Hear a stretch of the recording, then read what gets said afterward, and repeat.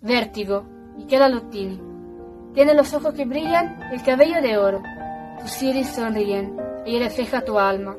Tus deseos más grandes ya no son secretos. Se ven tus ganas de correr en los pastos, escalar cumbres y rascacielos. Y es ahí que encontrarás tu estrella. Te acompañará toda la vida. ¿Eres capaz de alcanzarla?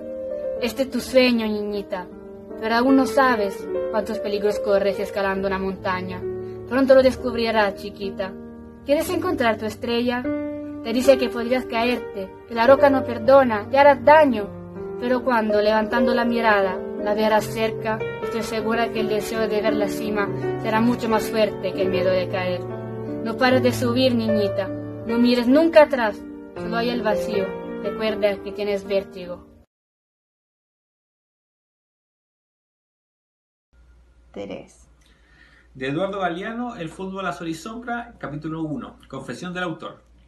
Como todos los uruguayos, quise ser jugador de fútbol. Yo jugaba muy bien, era una maravilla, pero solo de noche, mientras dormía. Durante el día era el peor pata de palo que se ha visto en los campitos de mi país. Como hincha, también dejaba mucho que desear. Juan Alberto Esquiafino y Julio César Abadie jugaban en Peñarol, el cuadro enemigo.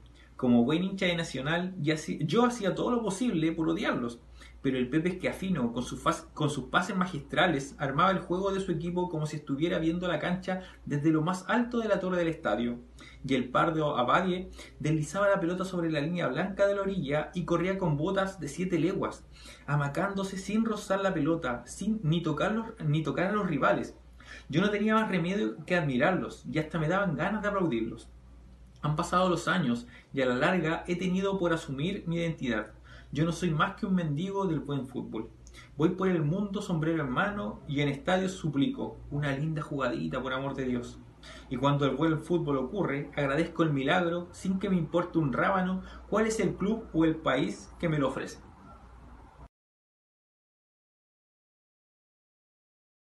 Voy a leer como agua para chocolate de Laura Esquivel. Enero, tartas de Navidad. Ingredientes una lata de sardinas, medio chorizo, una cebolla, orégano, una lata de chiles serranos y 10 toleras.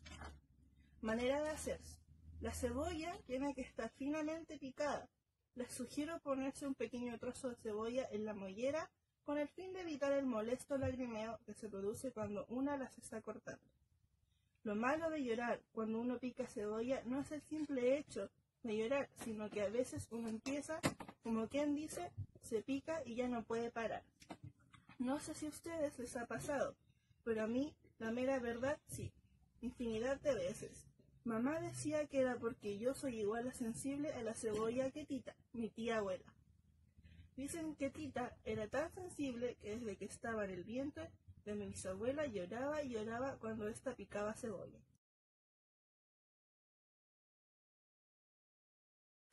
En mis días de lluvia Poema número 5. Jocelyn Contreras. Por primera vez anoche, después de tanto tiempo, te noté inseguro y me llené de miedos. Yo estaba contenta y llegaste distinto, pero te he cambiado, lo dijo el instinto. Después, poco a poco, te volvió la risa. Fue un cambio brusco que ocurrió sin prisa. Sucedieron palabras tomadas a broma. Te llamé conmigo y dijiste cosas, cosas que del todo no logré entender. Y nació este miedo, tal vez sin querer. Dije, estoy muy segura de esto que siento. También yo, fue tu respuesta.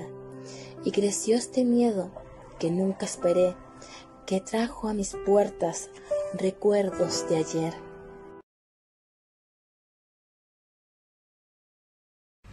Cuando los payasos hicieron su número esa noche, Dumbo se subió otra vez a lo alto de la torre, tomó valientemente su pluma mágica y saltó. De repente la pluma se soltó de su trompa. Dumbo caía muy rápido. Timoteo le gritó que la pluma en realidad no era mágica y que podía volar por sí solo. En el último instante, Dumbo agitó sus orejas la multitud aplaudió. La gente nunca antes había visto algo como el elefante volador con sus enormes y asombrosas orejas. Dumbo era una estrella. Este cuento se llama Dumbo y su autora es Helen Aberson.